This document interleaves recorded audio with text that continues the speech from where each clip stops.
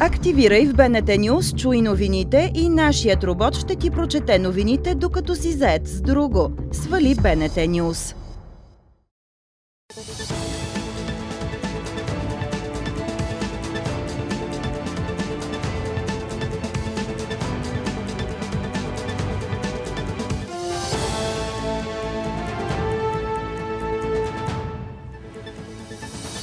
Това е посветил нас в 9 сутринта. Аз съм Роман Йовчев. Здравейте! Има ли спекула при формиране на цената на млечните продукти оправдано ли е с 340% да е по-висока цената на млякото от производителя до трапезата ни? Днешната цена е лев и 15 за литър, каза в денят започва Николай Гълъбов, който е млекопроизводител от Брезник. По думите му, основната причина за шоковото разминаване между изкупните цени и тези в магазините са сериозните такси, които се поставят от търговските вериги. Лек спад на цената може да се очаква до няколко месеца, каза Владислав Михайлов от Асоциацията на млекопроизводителите. Има нелоялни търговски практики, обаче каза още той. Ако един продукт, който го виждате на витрината в дадена верига е 30 лева, сметнете 40%, 12 лева трябва да отидат за веригата. Тоест млекопроизводител или фермера, който има такова дадено производство, до него няма да стигне тази цена. Голями, изключително голями търговски субекти, те наречените големи търговски вериги, те по това смисъл на думата са една шепа, контролират достъпа до пазара на, преди малко ви казах, 430 млекопреработвателни предприятия. С решението на ЦИК заедно да се отчита резултата от, от машинното гласуване. Това с бюлетините се прави опит да се заличи смисъл от машинното гласуване. Това се ви сутрешния блок на БНТ Стефан Янев от Обществения съвет към Централната избирателна комисия.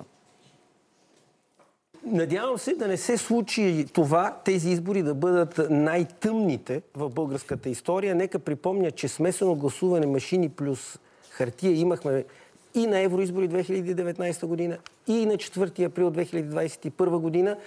Видяхме трудностите, които това създава технологично, но поне имахме следата.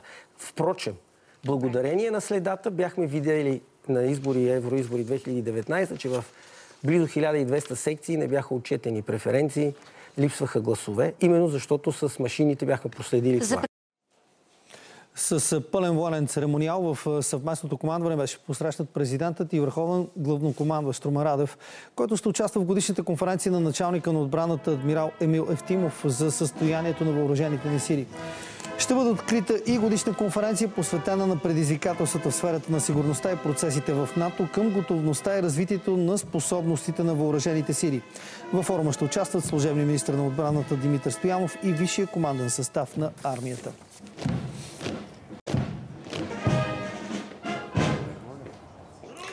По-късно президентът Румен Радев заминава за Полша, където ще участва в срещата на лидерите от, на държавите от формата Б9 с американския президент Джо Байден. Срещата на Байден с лидерите на държавите от източния фланг идва ден след речта му в Варшава по повод първата годишна от войната в Украина. И докато американският президент и НАТО показват единство пред лицето на руската агресия, в Украина руските сили търпят тежки загуби при несекващите атаки в Донецка и Луганска област.